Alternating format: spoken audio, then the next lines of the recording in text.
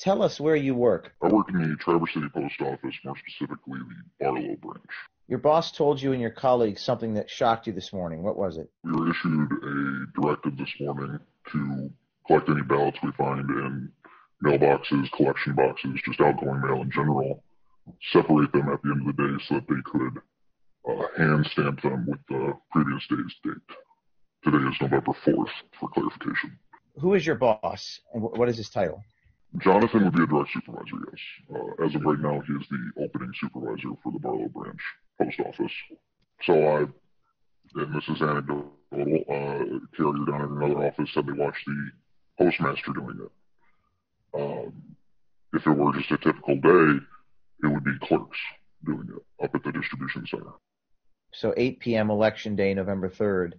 Uh, the Court of Appeals uh, ruled ballots have to be received by that time. And and what were you told? To separate them today so they could mark them with yesterday's date and send them through the express system to wherever they needed to go. This appears to be an attempt to circumvent Michigan law and allow late votes. And uh, you said there was a hamper where letter carriers were supposed to leave their ballots. Where are the ballots now? They were putting them into express bags to go to the distribution center. In regards to a uh, hamper, there's a standard hamper that all letter mail is supposed to go to, and they had a tub next to it that we were supposed to put any ballots collected today into. Yes. What made you come forward? Uh, that's sketchy. I don't like sketchy. It screams corruption. Uh, also, knowing the post office's leanings politically, it, it didn't seem quite right. What is your message to other postal workers who see things like this? Report it. Report it. How are we supposed to have any integrity in this country if we are just going to let things slide based on a scaling issue? Are you afraid of retaliation against you? Uh, I've had whistleblower policies backfire on me in the past, so yes.